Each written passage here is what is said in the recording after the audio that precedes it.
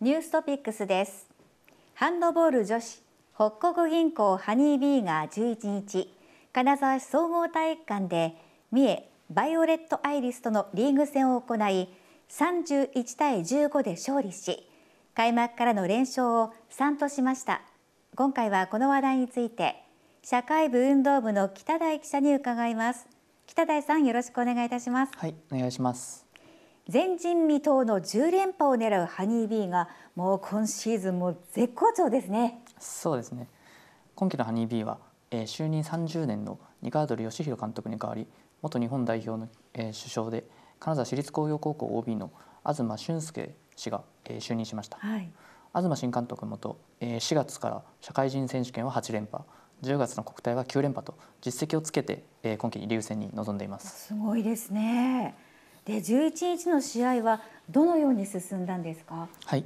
えー、相手は、えー、昨年6位と格下だったんですけども序盤はなかなか点が入らず攻撃面で苦戦を強いられました、はい。えー、それでも馬場敦子斉藤奈穂、えー、船久保茜の、えー、ゴールキーパー陣が好セーブを連発して流れを渡さず、えー、前半は13対8で折り返します、はい。えー、後半は5連続得点で流れをつかむとその後は圧倒、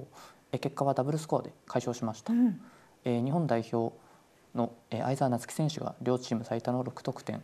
えー、松倉みのり選手永田美香主将が4得点と続きました、はい、えー、東監督は前半はバタバタしたが後半から自分たちのペースに持ち込めたと語っていました、うん、なんかもうこうなってくると絶対王者っていう風格がありますよね。そうですね。今後の日程はどうなっていますか？はい。えー、年内のリーグ戦はこれで終了になります、はい、その後年明けから、えー、5月まで20試合消化し、えー、上位チームによるプレーオフ進出を目指す形になります、うん、えー、ハニービーはえー、2年連続でリーグ戦全勝の優勝を決めているため、うん、えー、今シーズンも3年連続の全勝を目指す形になります。3年連続の全勝、はい、これやっぱりゴールキーパーとかはすごくプレッシャーかかって大変だと思うんですけど、はい、このハニービーは守りがすごく硬いんですよね。そうですね、うん、ニカンドリ監督時代の頃からこう研修からの速攻っていうのはよく言っていたのでゴールキーパー陣、はい、まあ、あのこの3人の3人のゴールキーパー変わる変わる、はい、あの好セーブ連発して、ええ、で流れ、まあ、相澤選手といったあの主力にゴールを決めてもらうっていうそういう流れに